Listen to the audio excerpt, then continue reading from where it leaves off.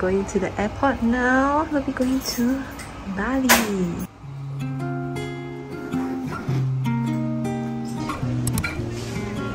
So we are at the beautiful Singapore Changi Airport and we're gonna check in our luggage bags uh, into our KLM flight to Bali and apparently on the website that they said that they have free check-in for carry-on baggage and we're gonna try and see whether we can get it for free. Wow, just so light. Eight! Wow, I made it eh! Under 12. So yes, you are right. KLM has free check-on for hand carry luggage.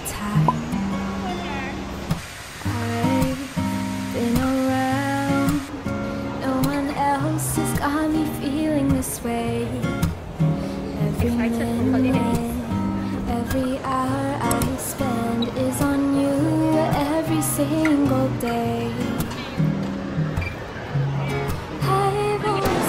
uh, Sourbombe donut. Uh, it's very popular in Singapore and I didn't know that they set up like an outlet here. So this is my first time trying it. I always wanted to try it so actually actually can I just use a fork Oh my god, it's spilling out, it's spilling out. Very nice eh? Wow. But the consistency is so good. Now I see why they're so famous. There's even like a strawberry inside.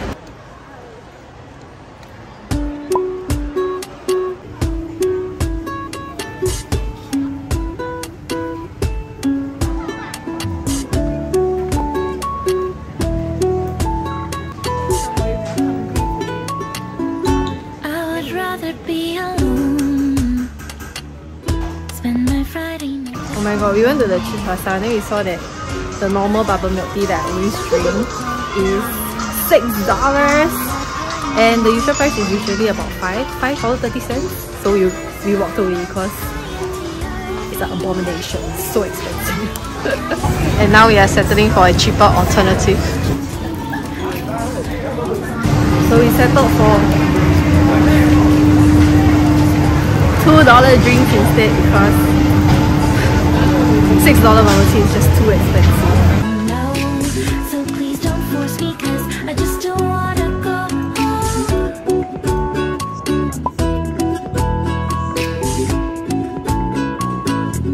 And when I'm outside, the world's such a big, big, crowded place. Trying my best not. Our two-way flight on KLM from Singapore to Bali was around $400 per pax. As you can see, the aisle is quite airplane standard where you have enough space for just one person to walk through. It's a full service flight, so there was entertainment with a wide range of shows to choose from. You can see Jerome watching Uncharted over here, which was released in February 2022, starring Tom Holland. I was pleasantly surprised for the legroom we had in front of us in our standard economy seat at 79 centimeters. So it was a pretty comfortable ride and I don't think there's a need for you to upgrade your seat for more legroom, especially since this is just a 2 hour-ish flight, unless you really need it. Here's a quick toilet tour. I was also surprised by how big it was or maybe because this is the special toilet that's made for parents with babies and the other toilets are the same size. But as you can see, there's plenty of space for me to stand and even a full-length mirror. I loved how the seats have a headrest that's bendable. I know quite a number of other airlines have this as well. I also didn't bother to bring a neck pillow for this short plane ride, but it was still really really comfortable. They only have one option for the meal, so it was served to everyone really quickly. I think if you have any special dietary requests, you would have to inform them in advance. So for today's dinner, we have some fried rice served with chicken satay, vegetables, and boiled egg. I don't know if it's just me, but do you guys feel that food somehow tastes better in the sky? Like, we really loved this meal and I gobbled it down so quickly. I was actually a little skeptical of the salad because in general I don't like eating raw vegetables but I saw Jerome inhaling his so I thought to give it a shot as he doesn't like salads either. And I ended up finishing mine too because it was drenched in sesame sauce. Like I just loved it. Now onto the dessert slash cake. I was also very skeptical about it because it looked like half of it was just cream slash sugar. But after eating one bite, boy, it was so freaking good. So it was a pandan cake with gula melaka and I ended up finishing this too. And I'm not even much of a cake person, but this was really surprisingly good. I noticed I said I was surprised by a lot of things on this flight and I really was. For drinks, we had the standard choices of apple or orange juice, etc. This boy over here got himself some white wine. I don't know my wines well, so here's a label for you guys that do. You can see here that we both completely wiped out our meals because it was legit good. Lastly, you can also get warm coffee or tea on the flight, which I did because I was feeling really cold. By the way, remember to bring a nice thick jacket for the flight because I was freezing in my cardigan.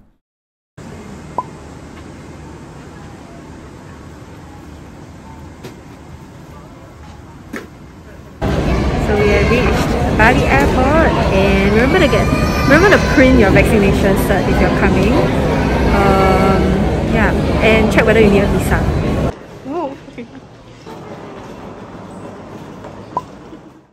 I'm just going to add in what we ate on our flight back from Bali to Singapore as well.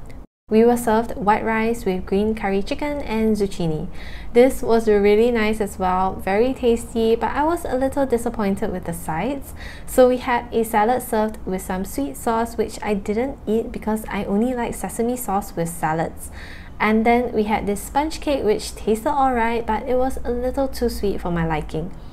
They served us champagne to celebrate the new year as we were about to land at 11.55 pm on the 31st of December 2022.